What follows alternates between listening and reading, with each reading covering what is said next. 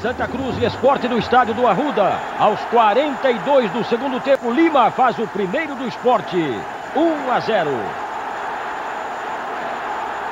No minutinho final do jogo, Givaldo pega uma sobra na frente da área. Acompanhe. E bate forte para fechar o placar. Final, Santa Cruz 0, Esporte 2.